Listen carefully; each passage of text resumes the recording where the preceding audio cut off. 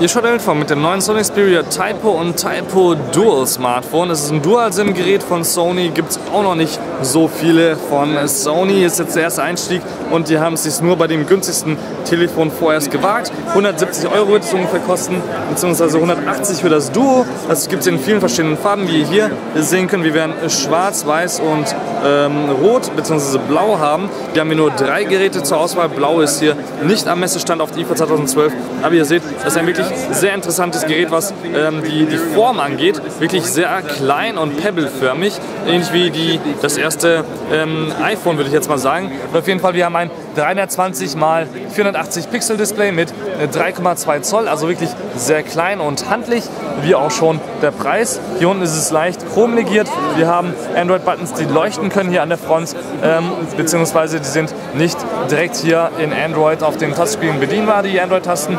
Und wir haben Android 4.0 installiert und die 3,2 Megapixel Kamera wird auch, denke ich mal, akzeptable Fotos schießen, hat allerdings, wie ihr gesehen habt, keinen Blitz. Das heißt, ähm, dass ihr dann entsprechend im Dunkeln ähm, ein anderes Gerät hernehmen müsst, im Club oder ähnlichen. Und die Kamera fokussiert auch schnell, im Gegensatz zu meiner, die jetzt natürlich mal wieder auf die falsche Stelle fokussiert.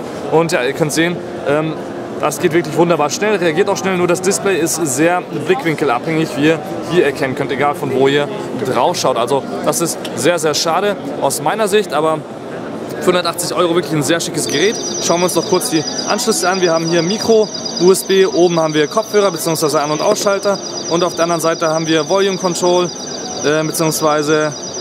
das ist wahrscheinlich ein Kammerknopf oder äh, weiß ich gar nicht, wofür der da ist.